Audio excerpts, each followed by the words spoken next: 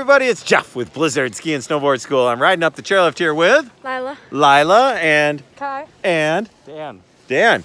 And so we were just talking about it's kind of a nippy day here at uh, at uh, Wild Mountain. It's kind of cold, you know, it's a couple degrees above zero.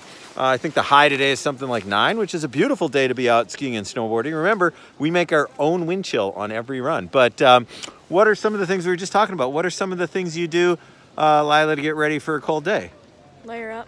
Layer up a little bit. She said actually like nothing. So it's just a regular day on the slopes. Um, Kai, what about you? What did you do to get ready for a colder day? I layered up. Layered up? Yeah, I think he said he was wearing. Uh, they said they were wearing like like nine layers. So how about that? Maybe seven layers.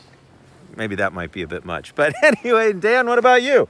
Uh, hand and feet warmers. Ah, hand and feet warmers. Good stuff. So lots of strategies. But just remember, Minnesota, no bad weather, only bad clothing. So we're out having a great day, and we'll see you on the slopes.